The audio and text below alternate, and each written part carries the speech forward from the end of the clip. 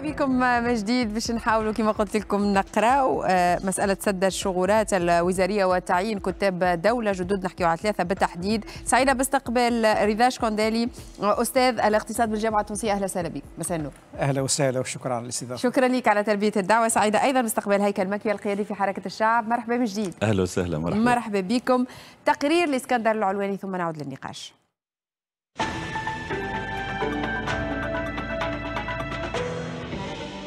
في إطار سد الشغورات على مستوى عدد من الحقائب الوزارية عين رئيس الجمهورية قيس سعيد أمس الأربعاء عدد من الوزراء والكتاب العامين فاطمة ثابت وزيرة الصناعة والمناجم والطاقة شغلت ثابت عدة خطط رئيسية صلب مؤسسات الدولة ووزارة الصناعة بالأساس بصفتها الأصلية متفقد رئيس للشؤون الاقتصادية وقد تم تعيينها مديرة عامة لفضاء الأنشطة الاقتصادية ببنزرت قبل تكليفها بمهام مدير عام مكتب تأهيل الصناعة بوزارة الصناعة والمؤسسات الصغرى كما تم تسميتها متصرفا ممثلا للدولة بمجلس إدارة بنك تونس الإمارات.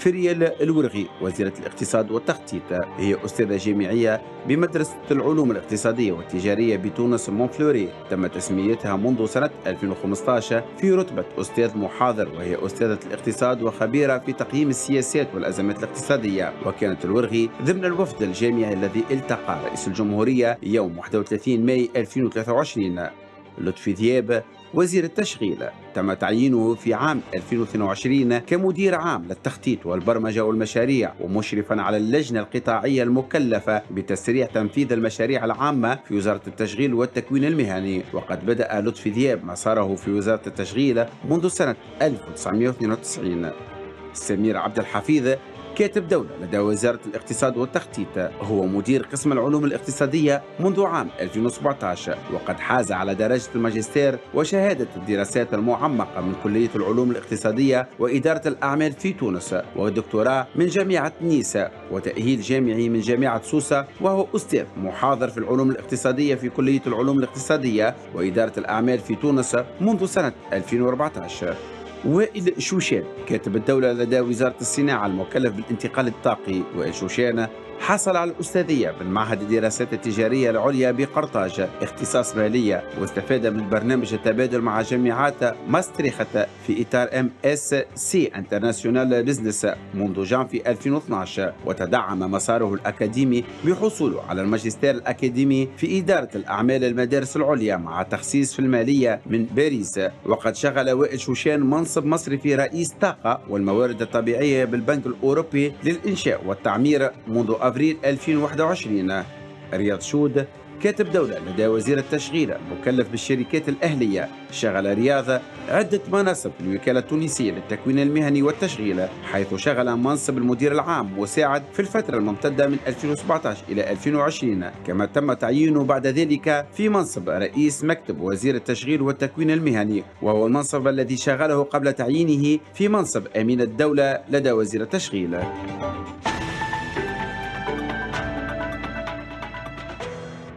حاولنا ان نقدم لكم فكرة على السير الذاتية من لهؤلاء الوزراء وكتاب الدولة المعينين المعينين الجدد. نبدأ معك سيري ذاش كونديلي. أول ملاحظة تقريبا نشوفوا إما جايين من الإدارة التونسية أو من الجامعة التونسية يعني في تكوينهم وفي مسيرتهم.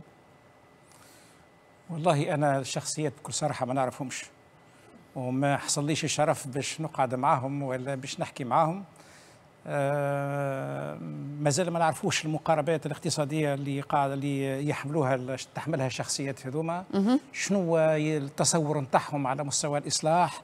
شنو مقارباتهم الاقتصادية؟ أنا الأولاني ما نعرفش. بصراحة ما ما, ما نجمش نحكم على الشخص. على الأقل من خلال الهيكلة. قراءتك في هذا سد الشغور على مستوى هيكلة الحكومة. نحكيه ثلاثة وزارات لكن تعيين ثلاث كتاب دولة منهم خلق كتابة دولة جديدة تعنى بالشركات الأهلية. نجموش نفهموا منه حاجة هذا يا أستاذ رضا شكوندالي هذا شوف أعتقد أنه الشيء هذا اللي يفكرني بالاجتماع اللي تشرفنا بحضور فيه بالحضور فيه مع السيد رئيس الجمهورية مع 15 خبير أو أستاذ جامعي كلهم أساتذة جامعيين. وقتها كانت النقطة اللي هي تقلق رئيس الجمهورية هي الانسجام والتناغم بين الحكومة ورئاسة الجمهورية. وكان وقتها آه، الفترة اللي تعديت مع السيد سمير سعيد فترة نوعا ما قلقت رئيس الجمهورية على مستوى التوجهات. عنده حكومة فيها شكون مقتنع أنه الطريق الوحيد هو التعامل مع صندوق النقد الدولي وهو يحمل مقاربة أخرى مختلفة تماما. وبالتالي هذا يقلق مش فقط ال ال ال الخبراء أو أهل الاختصاص كذلك المستثمرين يتقلقوا يقولوا الحكومة هذه ماشية. واحد يقول هكا واحد يقول هكا. المؤسسات الدولية هي بيدها تتقلق حتى الدول اللي باش تعاون تونس هي بيدها تتقلق تقول لك أنا باش نعطي فلوسي لشكون إلى حكومة ما نعرفهاش وين ماشية بالضبط. وبالتالي التناغم والانسجام بين رئاسة الجمهورية ورئاسة الحكومة شيء مهم ومهم جدا. وأعتقد أنه آه، نقطة مهمة جعلت رئيس الجمهورية آه، آه، يعني يعين الوزير التخطيط والاقتصاد في في المنصب هذا باش ربما يدارك المسألة هذه تاع التناغم والانسجام. وبالتالي أنا أعتقد كانت في الاجتماع اللي حكيت عليه. نعم. هي وسي سمير عبد الحفيظ السيدة زوز كانوا في الاجتماع اللي حكيت عليه. مع مع رئيس الجمهورية. اكزاكتومون اكزاكتومون آه أنا أنا في اعتقادي اراه ما يكفيش التناغم والانسجام بين وزيرة التخطيط والاقتصاد ورئيس الجمهورية. معناها ما يكفيش وحدة تحمل المقاربة نتاع رئيس الجمهورية والدفاع عليها. أنا أعتقد فما ثلاثة شخصيات مهمة لابد أنه يحصل الانسجام مع بعضهم باش تنجم أنت تكون عندك حكومة فاعلة معناها وقوية هما وزيرة المالية وزيرة الاقتصاد والتخطيط ومحافظ البنك المركزي. وأعتقد انه ملفين لابد أنه en urgence يتناولوهم الشخصيات الثلاثة هذوما. اولا كيفية التعامل مع صندوق النقد الدولي ومسألة السيادة الوطنية. يعني هل أن التعامل مع صندوق النقد الدولي هو من المحرمات الاقتصادية ولا يجب التعامل مع الصندوق أم في كيفية التعامل يعني كي تتفاوض مع صندوق النقد الدولي. هل تتفاوض على جودة السياسات الاقتصادية أم تتفاوض على الأموال التي ستتحصل عليها؟ هذه مهمة. خاطر وقت أنت عندك مقاربات نتاعك أنت وتتفاوض مع صندوق النقد الدولي بمقاربات نتاعك وتقنع صندوق النقد الدولي. بذلك فأنت حققت السيادة الوطنية أه.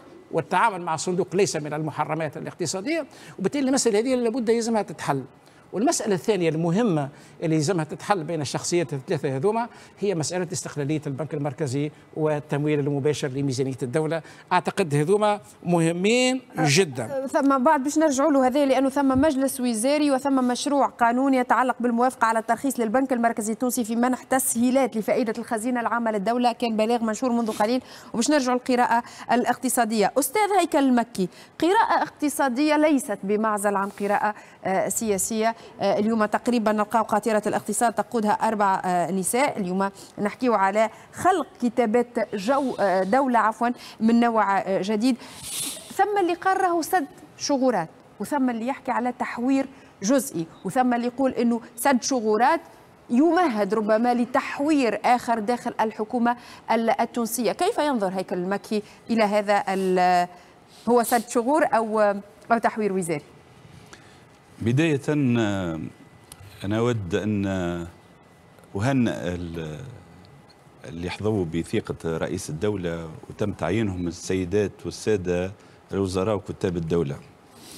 ويلزمنا نفهم كلنا أن نجاحهم هو نجاح لتونس في الأخير هو نجاحنا الكل.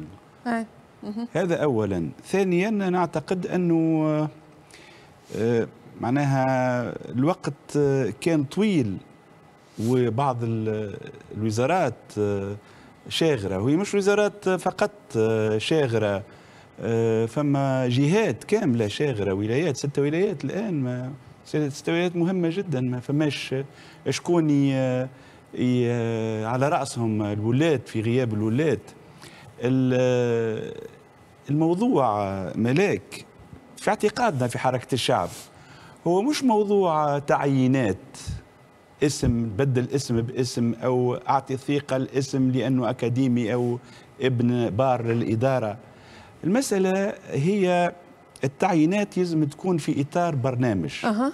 ماذا نريد؟ إلى أين نحن ذاهبون؟ إيش باش نعملوا؟ وين ماشيين بالشعب هذا وبالدولة هذه؟ برنامج واضح المعالم نعم.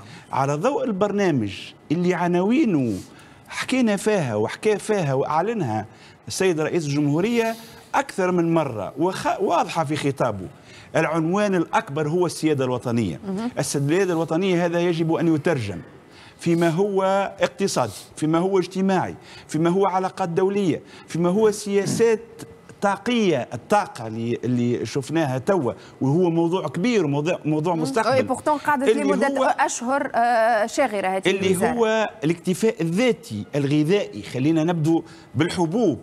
قديش هكتار يلزمنا نستصلحوه؟ قديش هكتار شنو هي سياساتنا هذا البرنامج هذا كله. سامحني. هذاك؟ هاني هاني آه، نفهموا من خلال هذا البرنامج هذا؟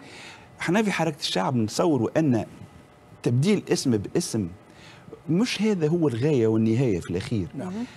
هو البرنامج ومن يليق بهذا البرنامج من شخصيات من شخصيات كفءة وتستطيع رسم السياسات العامة. تعرفوا انت البرنامج هذا شنو هو؟ آه، أنا أنا أعتقد أن عنوانه السيادة الوطنية التعويل على الذات إحنا شو شو شو إحنا علاش مع 25 جويلية وعلاش مع رئيس الجمهورية؟ هذه سياسات التدين يلزم نحطوا لها حد. مش هذا الفويت هذه. الفويت هذه والواحد هذا الداين الداين الداين الداين وفما حد شيء. نسبة التدين و... قياسية في قانون مالية 24 وهذا من اختلافاتنا في حركة الشعب. إيش قلنا في حركة الشعب؟ قلنا ما فائدة هذه الثورة الجديدة في 25 جويلية إذا يبقى عندنا قوانين مالية كما هذه. وين هدان الرخص؟ وينه منوال الاقتصادي جديد الثورة الحقيقية اليوم في الاقتصاد. يا أخي عملنا 25 جويليه باش الناس تشد الصف على الكش وعلى الخبز. يا أخي شنو هذه مسالك التوزيع؟ صحيح يا سيدي فما احتكار وصحيح فما مؤامرات لإسقاط المشروع السياسي السيادي تاع 25 جويلية لكن هذا لا يفسر كل شيء. هذا ماهوش كامل القصة وكل القصة هذا شابيتر هذا جزء من كتاب عريض وطويل فيه مشاكل أعمق من هذا. هيا مع بعضنا نشوفوا إحنا في حركة الشعب في الأخير شنو هو هدفنا؟ هدفنا هو الانتقال بالشعب هذا وبالدولة هذا إلى آفاق أخرى. شو باش نقول حاجة بكل صراحة رم الناس كرهت الإخوانجية مش على خاطرهم هم إخوانجية كرهت الإخوانجية على خاطر وعدوهم واعطوهم الثقة العباد وجبدوا بهم وما حقوا لهمش متطلباتهم وش وفي المسألة الاقتصادية والاجتماعية أساسا. السياسي نختلفوا فيه الغدوة مثالش مش مشكل. أما كيفاش نعملوا باش نحقوا لشعبنا أقل ما يمكن من تطلعاته. هذاك علاش نزيد نرجع توا اليوم لموضوع التعيينات. موضوع التعيينات هذا ست شهور أو تحوير. باقي ما جاوبتنيش على سؤالي أنا أعتقد ان هو كل هذا وهذا مش مش مهم بالنسبة لي. ست شهور أو تحوير هذا م. مش مهم. المهم ماذا هل أن سياسة واحدة للحكومة موجودة؟ في موضوع الطاقة. أنت جاوبنا. في موضوع الطاقة. هل أنه سننتقل شرقا في موضوع الطاقة مثلا؟ هل أن هذه الشمس آه، 320 نهار شمس في تونس ولا أكثر؟ وفي آه، آه، جغرافيا منبسطة. وفي موقع جغرافي استثنائي هل أن باش نستثمروه إحنا أغنى من من السعودية ومن ومن قطر ومن ومن الإمارات ومن ومن إيران. نفهم اللي هو سؤال استنكاري إذا هيك هل أنه آه سي شوشان اللي هو شاب ونتمنى له كل نجاح هل أنه يملك وائل شوشان. وائل شوشان؟ هل أنه يملك التصورات والجرأة والاندفاع والمسلح بفهم للسيادة الوطنية حقيقي واستشراف المستقبل أنه يطرح لرئيس الجمهورية هاوش باش نعملوا في الطاقة و... أو غيره. في الأخير ماذا أقول؟ أقول يجب أن يتوفر البرنامج اولا لهذه الحكومة ثم على ضوء هذا البرنامج سنلتقط ونصطاد الكفاءات التي يمكن أن تنفذ هذا البرنامج. عندنا سي رضا شكوندالي قانون ماليه 2024 اللي حكينا فيه مطولا وحاولنا نقراو نعملوا قراءات تحليلية مطولا، عندنا التعيينات الجديدة، عندنا كتابات الدولة اللي زاد فيها ما يتقال وفيها ما يتقرأ بين الأسطر. نجم نخرجوا عنوان لكل ذلك؟ والله توا أنت حكيت على الانسجام منذ قليل هذا اللي أنا توا مع التحليل اللي اللي تقدم توا شوف الحكومة أكثر في السياسي هو. نعم في الجانب السياسي ولكن كذلك في الجانب الاقتصادي. تحدث عن الجانب الاقتصادي ولا أنا نقول الحكومة هذه بدون عنوان. فماش عنوان. يعني ما فماش رؤية. يعني ما فماش وضوح. يعني ما فماش برنامج. أنا أعتقد شوف. هو حتى في أداء اليمين آه. السيد رئيس الحكومة مش موجود كان لاحظت. نعم. نعم نعم. يعطيك الصحة كنقول لك الشكل شوف أنا بالنسبة لي نزيد نكمل في, في الإطار هذا أشوف هو توا تعيينه لكاتب دولة مكلف بالشركات الأهلية واقتناع تام. لرئيس الجمهورية على المقاربة نتاعو ويحب يجسمها على أرض الواقع وله الحق في ذلك. هو رئيس الجمهورية وحسب وعلى الدستور الأقل رضا كان تسمح لي في النقطة هذه على الأقل كي خرجناها من الشؤون الاجتماعية أصبحنا في رؤية أكثر اقتصادية, ما عادش ما عادش منا معناها وزارة التشغيل. هدف التشغيل.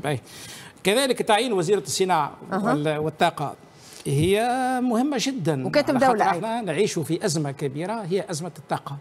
وإحنا في 16.5 مليار دينار على مستوى العجز التجاري تاع 11 أشهر اشهر نتاع 2023 عندنا 9 فاصل عجز طاقي.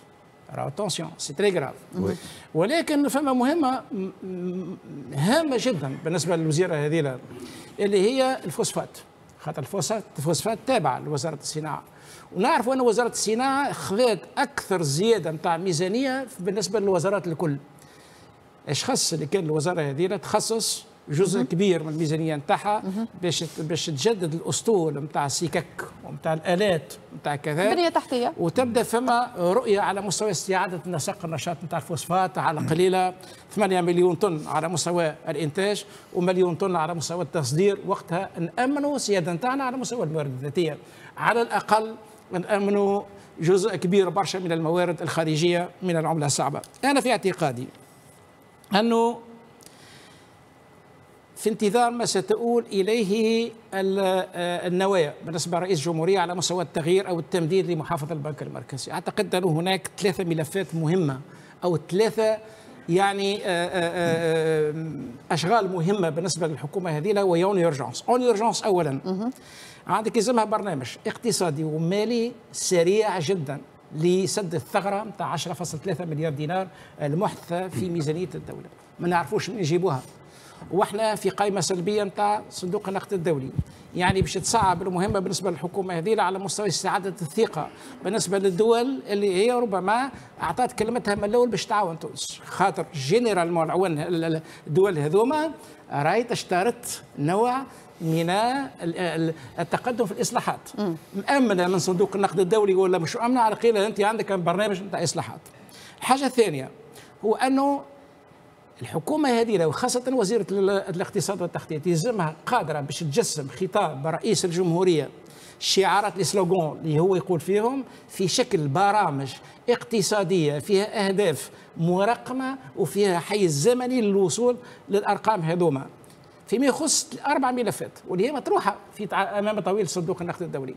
الملف الأول هو إصلاح الوظيفة العمومية، رئيس الجمهورية يقول يحب يطهر الإدارة. إيش معناها؟ معناها باش يقلص من عدد الأعوان والموظفين اللي عندهم شهاده مزورة أو دخلوا للوظيفة العمومية بالولاءات الحزبيه على فكرة اليوم على ما يبدو انتهت اجال التدقيق. هذا باش يعطينا هذا باش يعطينا. الشيء اللي يحب عليه صندوق النقد الدولي هو تقليص الحجم الاجور من الناتج المحلي الإجمالي. هي عندنا برنامج ومقاربة إحنا تونسية تونسية. نجم نفوضوا به صندوق النقد الدولي ونوصلوا بها للهدف اللي وصل اللي يحب عليه هو. الثانية اللي هي الدعم الدعم دخلنا في في مقاربة جديدة ولو أنه معناها آه، آه، الوزيرة المالية عملت حاجة في قانون الماليه لسنة 2024 وهي جسمت مقاربة رئيس الجمهورية جديده في شكل الإيتاوات ولا ولا الاداءات ولكن بشرط لازم تكون الحكومة هذه قادرة باش الإيتاوات هذوما والأداءات ما ينعكسوش على الأسعار. وبالتقليص أيضا في المواد الأساسية الدعم ما يلعبش دوره. كما يجب. الملف الثالث يلا نختم بين شي فاصل ثم نعود إلى القضاء على الفساد وتحسين الحوكمه داخل المؤسسات العمومية عوضا عن التفويض. فيها أه. والرابع هو قلنا إحنا مناخ الاعمال اللي هو كرس الشروط والامتيازات الممنوحة لاقتصاد الريع وكذلك هذا يأتي في إطار الملف نتاع تحسين مناخ الاعمال يلزم الحكومة هذه لا قادرة على تجسيم الشعارات هذوما في برامج اقتصادية والدخول في مفاوضات مع صندوق النقد الدولي ليقنعوا بجدوى المقاربات هذه. وقتها نجم نكسبوا الثقة نتاع صندوق النقد الدولي والثقة نتاع الدول الدول اللي هي تحب تعاون تونس والمحافظة على السيادة الوطنية. نقاشنا مهم جدا. نقاشنا مازال متواصل بعد الفصل